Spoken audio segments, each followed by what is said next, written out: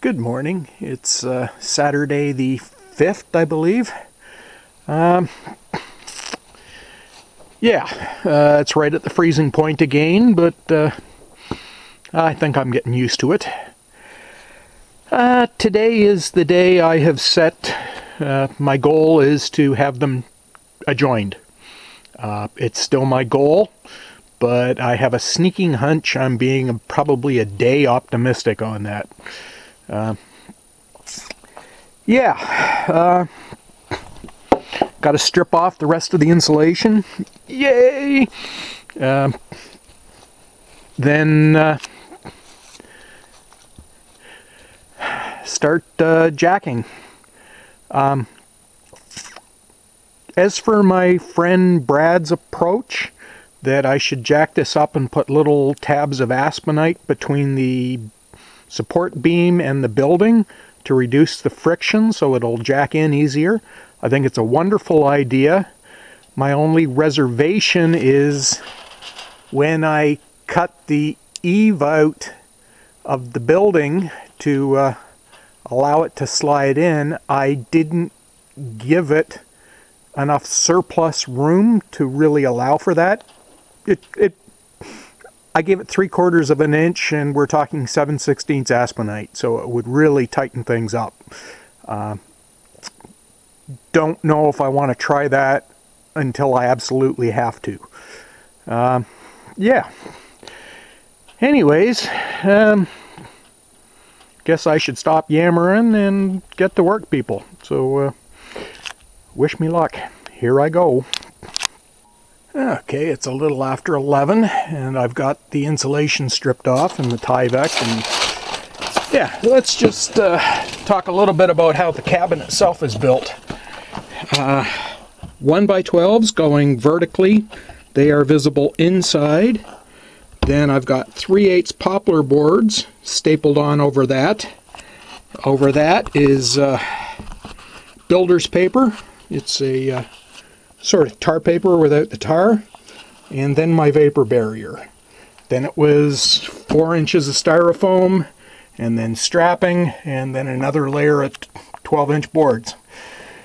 Yeah, I, uh, I think I'm ready to start building my jacking rig. Yay! I'm getting tired. So far I haven't moved it a centimeter. Anyways, I'm going to get at it and I'll bring you back later, people. Bye now. Okay, it's lunchtime. This is my setup. I have moved it a little bit, but very little bit. Uh, the blackjack that uh, I said was no good, I filled it with oil. Now, I've probably voided my warranty because I used engine oil, but uh, I needed it and I wanted it today. So, uh, yeah. By working with two jacks, my theory is I can uh, creep it in straight uh, without it sliding one side or the other. Anyways, um, I'm going to go have lunch and uh, get back to it in a little bit. Later, folks. Well, it's uh, about 2.30. I am now officially under the eaves and uh, starting under. It goes very slow. Um,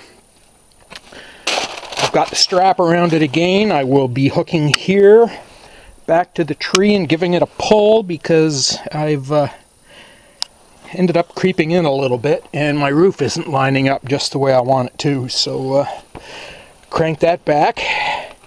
Uh, my setup is working, but I can't run both jacks in parallel. I crank up the little one here and pick the thing up just a little bit on the one corner and then jack with the big one and then switch over to the other side and do the same thing. Uh, to my friend Andrew that said, uh, well, make sure you videotape the uh, moving it in. I don't think he realized it's going to take me hours and hours and hours. It moves in a millimeter at a time, but hey, I'm getting there.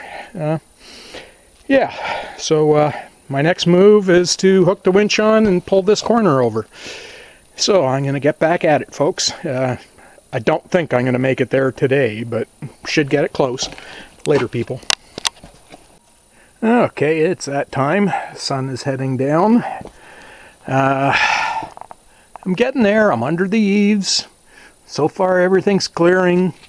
Uh, I got 17 and a quarter inches left. So hopefully I can get that done tomorrow. Wow, it has fought me every inch of the way, but uh, I'm getting there. A millimeter at a time. Yay! Anyways, it's the journey, not the destination.